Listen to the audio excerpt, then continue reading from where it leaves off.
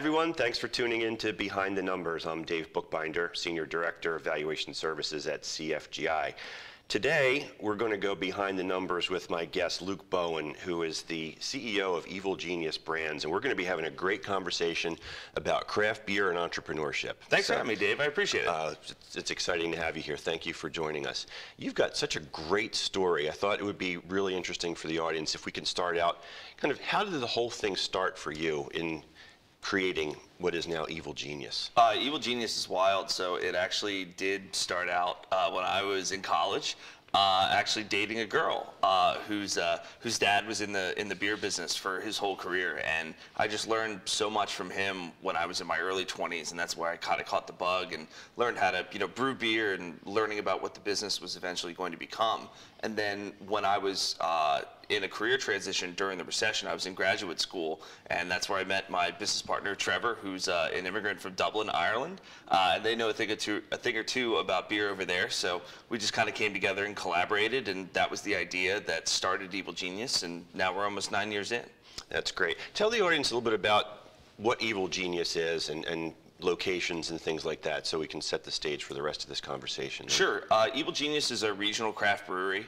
Um, we make beer and sell it between uh, just north of Washington, D.C., all the way up to New England uh, Massachusetts. Uh, we have a tap room and restaurant here in Philadelphia, uh, but our large business is selling beers to bars and liquor stores in that whole territory. So we sell to about 10,000 retail accounts uh, in that in that footprint and uh, that's we make primarily ales, IPAs, uh, a lot of seasonal beer, uh, as well as we just came out with a line of uh, craft hard seltzer uh, right before the holiday season.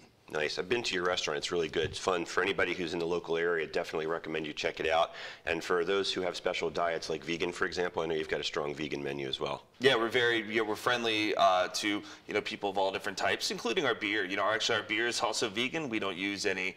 Uh, most beer actually isn't vegan, believe it or not. There's a there's a component in beer uh, that's used for filtering that uh, we actually don't use. So our beers are vegan as well, if that's your wow. thing. Wow, buddy of mine who's a vegan insisted that, that beer was vegan. So that, that may be a, a myth bust for him. Yeah, that so. is def- Yep, that is definitely a myth bust. Yeah. So I want to talk to you about a couple of different tracks here. One about the business and the beer, and, and get into the craft beer space, and also want to parallel track that with the entrepreneurship that goes with it. So why don't we start with um, in constructing your business, it's a fun kind of environment down at the restaurant. Your beer names are fantastic, which Thank we you. will get to shortly. But is one of the core values of the business fun? Yeah, it's, it's actually number one. Um, our core value is happiness and fun.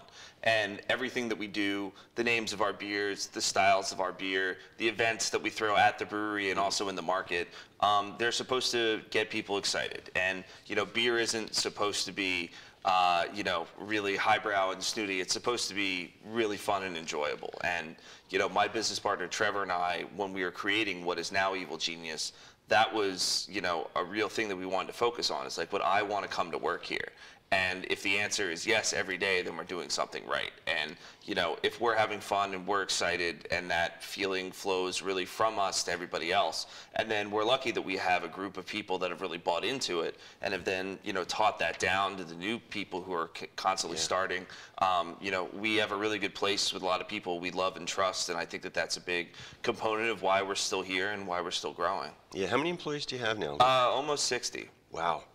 That's impressive growth. Yeah, thank you. Nice. Thank you. It's wild, and and uh, you know I've interviewed every single one of them, you know, and and that's a that's a big piece of you know we want to make sure that it's a cultural fit too, that people are fun and they get that vibe, and uh, you know Trevor and I, you know we're still still small enough that we can touch all the people coming in, and that's really important, and we have we have a we have an awesome staff. We're really lucky. What's a deal breaker for you when you're going through that process? Like when when somebody says something or gives you a vibe, how do you know they're probably not a good fit? I ask like weird questions. I'm like, uh, you know, if I if I was to go home to your parents' house, you know, what's an embarrassing CD that I would find in your old collection or something? You know, just just something that's not like, tell me about a time you overcame a challenge. You know, it's yeah. like just something to get people talking. And if you don't have a personality and you don't, because everybody has something embarrassing about their life that they don't want oh, anybody yeah. to see, whether it's like you know an old like you know boy band CD or whatever that you don't want anybody to find or uncover. It's like you know, just if, as long as you have a good answer and you can think creatively on your feet, like that's really what I look for because that's 90% of what a young business is is just like thinking creatively and coming up with solutions to problems because there's not like 20 layers of bureaucracy. Like everybody has to take ownership of something, and I think answers like that are indicative to people's like thought process and their creativity, and those are the types of people that we're looking for. Yeah, that really resonates because I, I joke with uh, friends and family. Um, I've got the Best of Bread album in my collection, which I bought a long time ago because of a girl I was dating. And Yep. looking back on it, I, I describe it as music to commit suicide by. Yeah, exactly. so I, I, totally get that. Yep, I have Wheatus, the song "Teenage Dirtbag." I was really into that when I was in high school, so I bought the CD, and that would be that would be my answer because the, the, they they'll ask it back to me, and I better have a good answer Yeah, I guess if I'm gonna ask so. them the question. Nice. Well, that was good stuff. Let, let's continue the, the fun aspect here. and Let's talk about some of the beer names here. Uh, and I want to talk to you first at a high level. How do you come up with these names? It's you know actually it used to be that Trevor and I just did all of it, but we opened it up to really the entire company because you know we do have a lot of creative people that come up with ideas that we've ended up using. Like Trevor and I have named beers. We've had customers name beers. We have staff members who have named beers. Uh, we actually use a Slack group now uh, with our own hashtag for beer names. And um, I don't know if you're familiar with Slack. It's kind of like a it's a messaging service that you can sort different topics by hashtags. So you don't have just one group email with all the different topics mixed in. And we have one that's just beer names. And so anybody who works for Evil Genius has access to Slack, so they can suggest a beer name. So like once a month we go through and like knock out the ones that just aren't going to work. But then there's always a list of keepers, and we have kind of this you know running tally of names that when we need to name a beer, we just kind of go to the list and you know see sort of what what the next one up is. But there are also some times when you know a name really inspires us, and then it comes out of nowhere, and then we just make a decision that immediately that's what we're going to call the next beer or sometimes a beer happens and we create you know liquid and then we you know purple monkey dishwasher is a great example of this. Like we had this name called purple monkey dishwasher which is named for our chocolate peanut butter porter that we had for probably about six to eight months before we called it a beer. And when we made that that beer and started testing it, we knew it was so wacky and different that the only name that was really going to work for it was something like Purple Monkey Dishwasher. So, you know, it, it kind of goes hand in hand. Sometimes the name fir- comes first, sometimes the beer comes first, but Yeah. the big criteria is does it make you laugh? And if the answer is yes, then it could be a name. Yeah, so for most people who are, the, if they're looking over at a beer menu at a bar or a restaurant, what have you, they're, they're looking for, you know, I want an IPA, I want a lager or something like that. When you're looking at a list of Evil Genius beers, you don't get that right out of the box. Yeah. And, and we're going to talk about some of these other names, but has, has the creativity of your names gone too far in the other direction at any point where it's confusing people, or are people really just buying into the fun? I mean, nobody bats a thousand, right? Like, there are definitely a few that I would like to have back. Like, they were maybe too long, or you know, they were just too obscure that people didn't understand it. But you know, those are some of the limited one-offs that we do at the tap room, and and you know, those you know people like and they think it's funny. But for a beer to really make it out into the world and into the marketplace and to see it on stores shelves, like it has to go through a real vetting process. So, Yeah. but yeah, I mean, we've missed some, but you know, others, you know, it, there's also something nice about not everybody getting it right away. To have it kind of be this like, oh, I'm not sure about that, and then they go and look it up, and that kind of discovery that Oh, that yeah. creates a little bit more involvement with the brand too. Yeah, no question. and It's definitely fun. Uh, we only have a few minutes left in this first segment, so I want to make sure um, I ask you how can folks who are watching and listening either contact you, find out about where your locations are, how they can get Evil Genius beer? What's the best way to, for them to find you? Sure. Uh, for the brewery, uh, it's uh, evilgeniusbeer.com or any of the social media hashtags Instagram, Facebook, Twitter, uh, LinkedIn at Evil Genius Beer. Um, and if people want to reach out to me, uh, they can send me a message on LinkedIn. Uh, just see Luke Bowen on LinkedIn, and uh, they'll be able to find me. Yeah, definitely hit the website. It's definitely worth your while just to even just to explore the names of the beers, uh, and it is good stuff too, by the way. Um, let's talk about a couple of them. I'm going to read off a few of them, and maybe you just react to the ones that that are of particular uh, fame in your Sure. mind, if you will. So you already talked about Purple Monkey dishwasher. Stacy's mom. I'm an IPA guy. Yep. Love that one. Uh, hashtag adulting. Yep. That was I'll- our fifth anniversary beer, actually. Okay. Yep. I'll have what she's having. Santa, I know him. The flying Hawaiian. You're killing me, Smalls. okay. Um, hashtag I can't even. Uh, new phone, who dis? yeah, I mean, you know, they're they're all just you know they're all just super fun, yeah. and it's just stuff that we had just kind of came to. I mean, the fun, the funny, the best experience actually with any one of those names uh, were two guys from the movie The Sandlot. We're in Philadelphia throwing out the first pitch at a Phillies game, and somebody told them that we had a beer called "You're Killing Me Smalls," and so they had to come and try it at the brewery. So Trevor and I have pictures with uh, Timmy Timmons and Yeah Yeah, the two guys that played uh, those kids in The Sandlot, which was my favorite movie growing up. I played baseball in Little League. That was by far my favorite movie, and that was just kind of a surreal moment having them hang out at the brewery with us. It was really cool. They were they were super nice about it. Nice. Bye Felicia, that's another IPA yep. uh, that, that I really enjoy. I love Lamp. Ma the Meatloaf. Yep. but I got to ask you about this one. Um, Baby Shark, do do do do. Why? Because all of my friends have kids, and they they just it was that song is just it transcends you know generations. Uh, you have you know young kids singing it to grandparents singing it, etc. And we just decided to be like, this is so ridiculous. We have to call a beer this, and it was a limited release beer that we did at the brewery, and it turned out to be awesome. Yeah, my son says there's a special place in hell for the Baby Shark song and the Kars4Kids yeah, song. Oh yeah, yeah. no, we'll, we'll so. be there. We'll be there, beer in hand. So. okay. What is Baby Shark? As, as a beer, by the way? Uh, it was a hazy, uh, like New England style IPA. So we brewed it with okay. Citra and Mosaic hops. It was really fruit forward. Yeah. Um, really, really nice IPA. So, as you say on your website, it's silly names for serious beers. These really are serious beers, and they are very, very good. Oh, thank you. Yeah. yeah, and you know the name, the naming part, and one of the reasons why we chose that branding is because um, there's so much beer out there, and there's a lot of really good beer. And there are a lot of breweries, especially locally here, Jersey, Pennsylvania, Delaware, that are making phenomenal beer. And just having good product isn't enough. You have to yeah. stand out in some way. And, you know, we you know, I, I, I, don't have particularly great artistic ability, like I can't draw very well, that kind of thing. So, you know, some people stand out by really creative labels. Some people historically have made great beer for decades, and that's kind of their calling card. We wanted ours to be something a little bit more humorous. And it's really our sense of humor. Like these are things that my business partner and I just would say to each other, and this, these were part of our inside jokes. And it just turns out other people think it's funny as well. Yeah, well, you're hitting the cover off the ball when, when you're doing this, to Thanks, be honest man, with you. These are, these are phenomenal.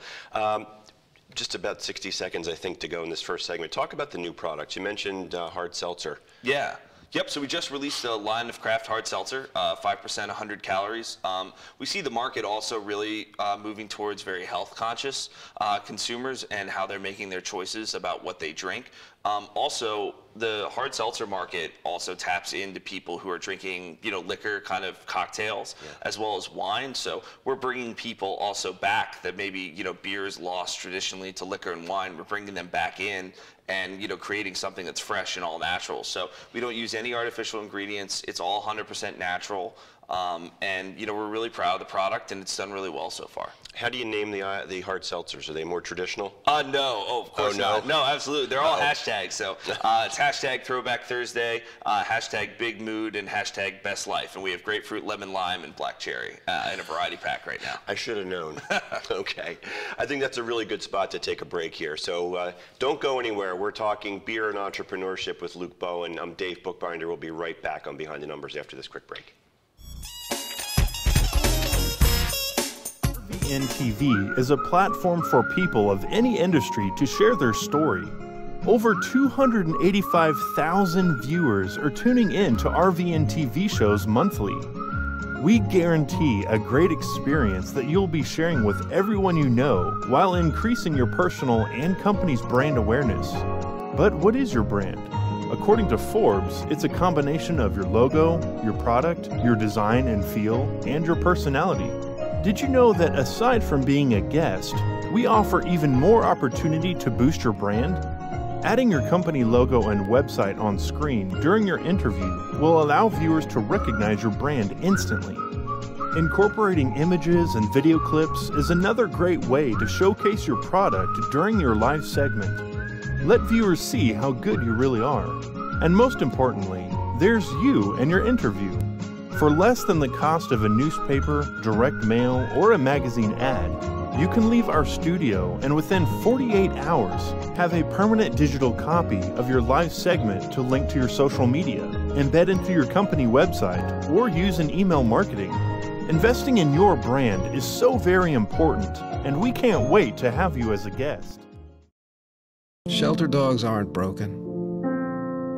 They've simply experienced more life. If they were human, we would call them wise. They would be the ones with tales to tell and stories to write. The ones dealt a bad hand who responded with courage. Do not pity a shelter dog. Adopt one.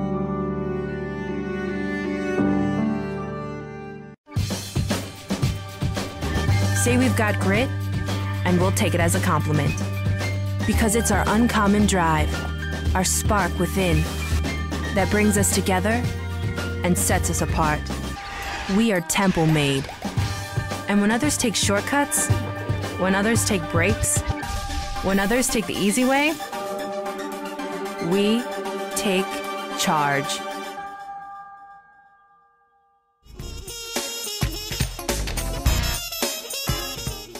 Welcome back to Behind the Numbers. I'm Dave Bookbinder, and we are talking craft beer entrepreneurship with Luke Bowen, who's the CEO of Evil Genius Brands.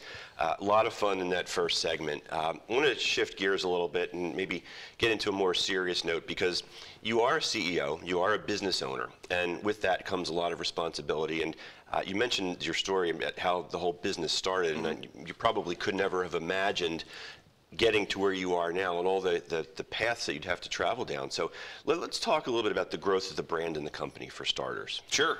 Um, so when we started Evil Genius, it was 2011. So it was right kind of after the U.S. economy was really kind of recovering from the recession, and so you know there was there was optimism, but it was still very challenging for people. And you know making beer is very capital intensive. It requires a lot of fixed assets, and so we decided in the very beginning that instead of trying to go out and raise a bunch of money or borrow a bunch of money from a bank, we were going to find manufacturing capacity that already existed in the marketplace and take our recipes and really kind of, you know, utilize somebody else's facility. And that was really kind of how we got started. Um, and I think that that was a different decision. It was like super capital efficient. Um, and it was definitely a struggle in the very beginning too, because it kind of created this sort of slight dissonance between us and the customer. It was like, okay, well, you guys are a brand and that's really cool, but you know, where can we come and see you? And that's why having the you know new lab and tap room in Philadelphia has been so important for us because it creates kind of this rally point where people can come and really kind of feel and touch our brand. But you know, our journey was very different, I think, than most breweries because the traditional path is, you know, you you know, I don't know, you start making beer at your house and you start in your garage and then you build a brewery. And we just saw that as being just too slow. Like we wouldn't be able to scale fast enough. And that's why we made those decisions that we did up front. And it's helped us grow quickly uh, without a lot of like additional investment. Um, in you know fixed assets, which I think is very different for people in our space. Yeah. So when you talk about the brand and it's consistent with your culture, so aligning brand and culture, as we were talking before we went on the air, is, is just tremendously important. How does that translate into a marketing strategy? I mean, how do you take fun and make that a strategy? Um, that's actually a really good question. I mean, I think that, you know, you, the, the fun aspect becomes the cornerstone of what you do. It's like everything needs to come back to that central why. And it's like we do this because we want to have fun. And is everything funny? Does everything, you know, would we want to come to the events that we throw? Would we want to drink the beer that we're making? Would we want to come and eat our food at our tap room? And if all those answers are yes, then we're doing something right. And I think that having things be fun and lighthearted means that we're more creative. And out of that creativity, I think, you know, comes answers to more complex problems. Yeah, and we, we talk a lot about the why behind businesses and the mission and getting employees aligned with that mission and that when they buy in and drink that corporate Kool-Aid, so to speak, you're going to get the discretionary effort and they're, they're really bought in. And you mentioned something interesting before we went on the air that you know, sometimes in the day-to-day and getting stuff done, the task at hand, it could be easy or possible to lose sight of the big mission. So for the entrepreneurs who are listening and the leaders out there, What's your advice for them on how to maintain that focus on, on the overall mission and keep people tuned into the why? Yeah, I, one thing that we've learned over time is just transparency, just telling people what you're doing and why you're doing it. And you know, if, if they understand that there's, hey, there's a thought process behind this, um, you know, it's the idea has been vetted um, then they're more likely to buy in. Like I, I haven't had a lot of success when I've told people, hey, this is just what you need to do right now. Um, I've had way more success be like, hey guys, this is what we need to do, and this is why, because this is an important link in this chain between steps one and three. Um, and that I, has gotten a more positive response. And I think people, at least in my situation with our company, because we are sort of a young, growing company, um, they just want to be informed and they want to know that their work matters and it means something. And if you communicate that, hey, this piece means something to the growth of the business in this way or that way, it's it's a little easier to get buy-in. Yeah, it's great advice. I think for anybody out there watching and listening, it's it's it's all about the why. Mm-hmm. If there's a bigger mission, a bigger vision that people can buy into, and not just get stuff done because it's a task that they've been assigned, it's, it's a big difference maker. Absolutely, and the right type of people want to be part of that community. And if you allow them to be a real part of that community through that transparency, you get buy-in faster, and people are just able to accomplish more.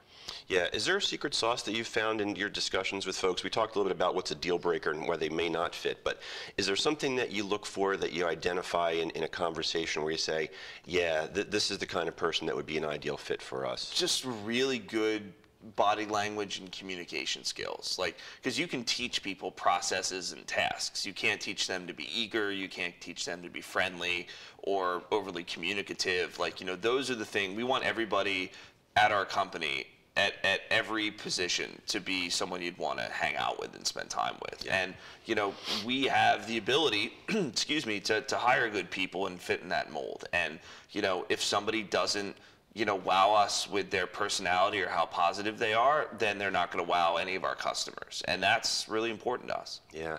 So, as a CEO and business owner, you've got responsibility to your your customers. You've got responsibility to your employees. Uh, you also have responsibility to your investors. You did a capital raise a couple of years ago. Yeah, five years ago. Yep. Yeah. Talk about that. What it's like to be involved in a capital raise, and, and how, if at all, do you need to behave in a different fashion rather than the day-to-day CEO persona that you may share with an employee? Yeah, it's a really good question. So uh, we raised money uh, about three years in, a little over three years in. So we had already established our business and gotten to that seven-figure mark in revenue before you know we went out to the capital markets.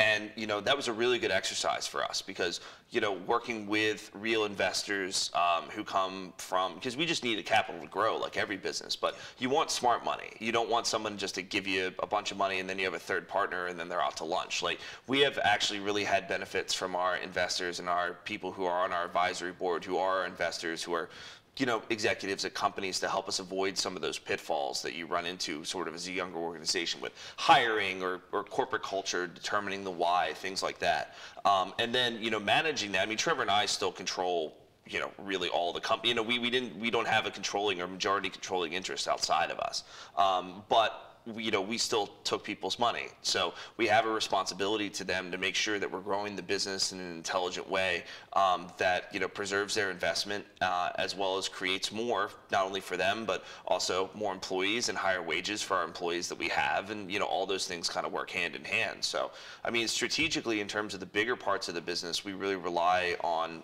Trevor, myself, and the advisors uh, to really help guide us and make sure we're making the right decisions. But frankly, we get a lot of ideas from our team too that maybe change our perspectives on how we're thinking about things. And it's just a really interesting process. Yeah, for sure. Um, how can folks find out more about you and Evil Genius? Sure. Uh, so go to our website, evilgeniusbeer.com. Uh, any of the social media platforms, LinkedIn, uh, Twitter, uh, Instagram, Facebook, at Evil Genius. Um, and you can also reach out to me on LinkedIn at uh, C. Luke Bowen on uh, LinkedIn.com. And I look forward to chatting with you.